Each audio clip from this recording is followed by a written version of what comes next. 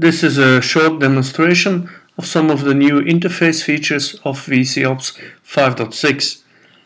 You will see that on the left side we still have our navigation uh, window and of course in the middle we still have our dashboards, health for immediate issues, what I always call uh, post-sale support, uh, risk for the immediate risks like running out of disk space and efficiency uh, for everything long term like oversized VMs.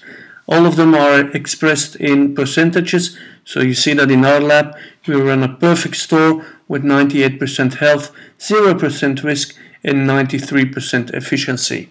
Yes, our boss is very proud of us.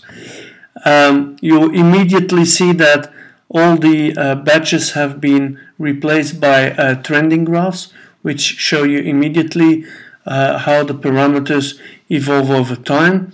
And yes, a big yes, the health weather map is now clickable. You see the little windows when I hover over the blocks and if there is one of interest I can click on it and I immediately jump to that object, in this case a data store which has a health issue and you immediately see the root cause analysis. Disk space is full 76%. So look no further why there was an issue uh, on this object.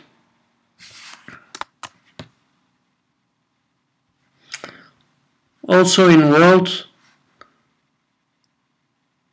you will see that uh, the operation details page has been rewritten. You see again the distribution over time and you see the top offenders that attribute to, uh, in this case, the bad health or the good health of the, of the system. You see for each parameter again what you know from vCenter operations, namely the dynamic ranges that have been learned by the system in gray. The orange dot always indicating the present value and if possible minimum and maximum values indicated. If you change for uh, faults, for example, you see the same thing but then for faults and then again the top offenders that contribute to your faults in the system.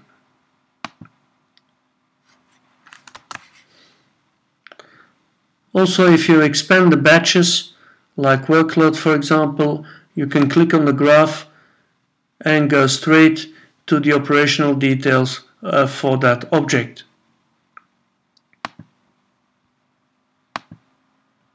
Same thing if you navigate around, of course, you see the badges change for the object that you have the focus on.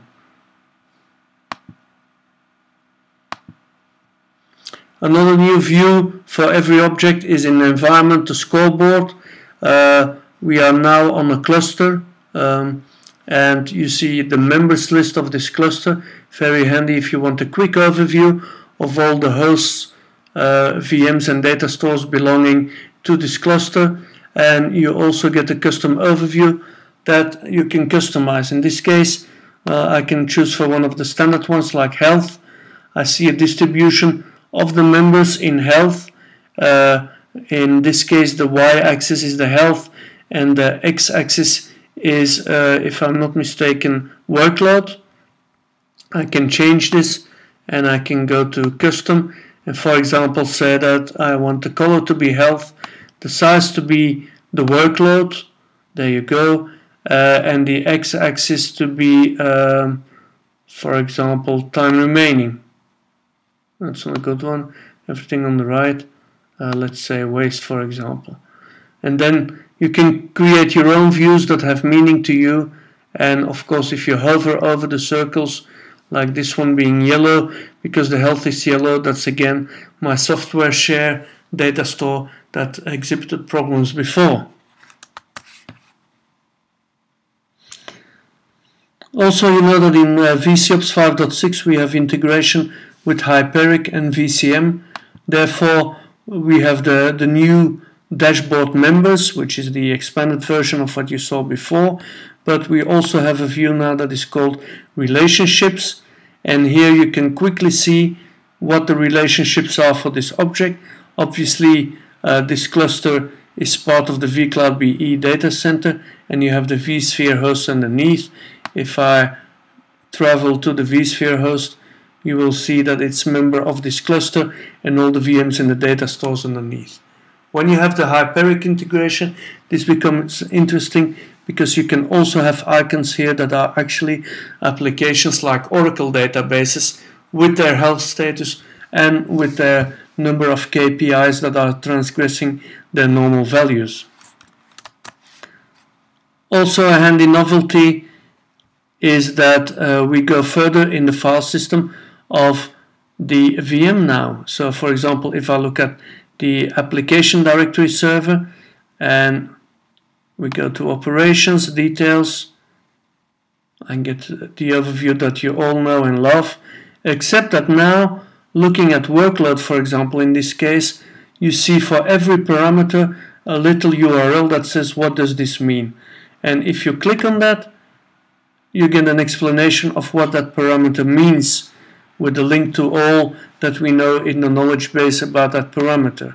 Very handy if you want to look up what is actually happening. And when I scroll to the bottom to storage, you now see that except for data stores and LUNs, we have added a tab file systems. And in this case, it's a Linux VM, so you only have a root file system. And you see that for that root file system, uh, there's 7 gigs free out of a possible 15 gigs, so 53% is full. And if there are any other mount points, you can have a look at them too. And of course, if this is a Windows VM, like here my Windows 7, let's click on that one. Of course, you get the same view with the same explanation for the parameters. And if you go to storage file system, click on that, and you see that in this case I only have a C drive and I have 17 gigs free out of a possible 24. So 29% uh, of the file system is still free. That's the file system integration we have now for the file system actually running inside the VM. Another handy view if I go to any of the data stores and I click on the operational details uh, I see the workload but actually uh, you see the space here now you see that 33 gigabytes is occupied on this data store and you see actually underneath how it is used to known VMs.